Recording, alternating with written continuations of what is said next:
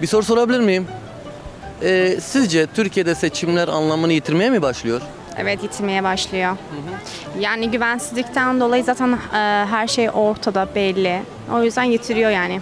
Güvensizlikten kaynaklanan bir durum bu yani. Yitiriyor tabii ki. Neden? E yani var olan hükümet zaten seçimi ve halk iradesini tanımıyor. Yani bununla paralel olarak anlamını yitiriyor tabii. Bir soru sorabilir miyim? Teşekkür ederim. Merhabalar. Bir soru sorabilir miyim? Ben teşekkür ederim. Bir soru sorabilir miyim? Çok teşekkür ederim. Merhabalar. Bir soru sorabilir miyim? Teşekkür ederim. Ee, merhabalar. Bir soru sorabilir miyim? Sizce Türkiye'de seçimlerin bir anlamı kaldı mı? Yorumsuz. Neden? Sizce Türkiye'de seçimlerin bir anlamı kaldı mı? Yani anlamını... Şöyle geleyim ben. Şöyle gel. kalmadı. Yani seçim o zaman olmasın. Eğer kayyum atıyorsanız, halkın iradesine ipotek koyuyorsanız o zaman seçime ne gerek var? Türkiye'de seçimlerin bir anlamı kaldı mı? Kalmadı. Hiç kalmadı. Neden? Ama şey değil ki. Normalde adalet yok ki. Başka ne diyeceğim? ki seçim üstte seçilmişlerin böyle e, gasp yoluyla alınmaları hani onu gösteriyor artık.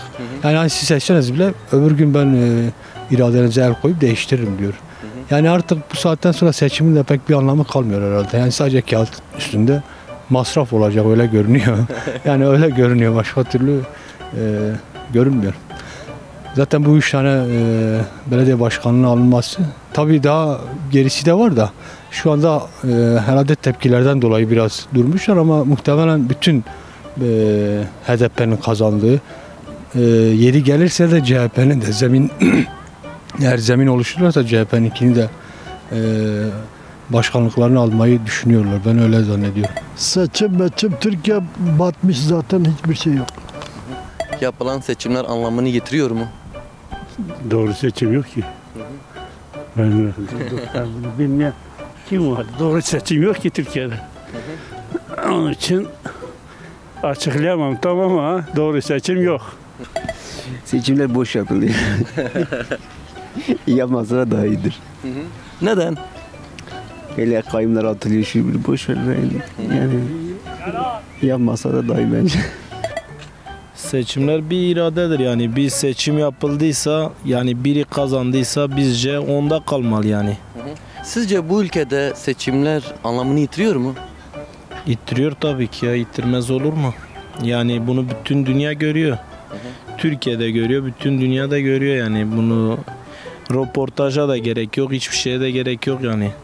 Bunu halk da görüyor, insanlar da görüyor yani her şey görüyor yani. Yani nasıl söyleyeyim? Bence burada yani Türkiye'de hak, hukuk hiçbir şey yok yani. Yani halkın verdiğin bir oyu eğer iki ayda, üç ayda bu, bu oyu yani ufak bir delillerle bunu yok edip de belediyelere koyup atmak bence hiç mantıklı değil.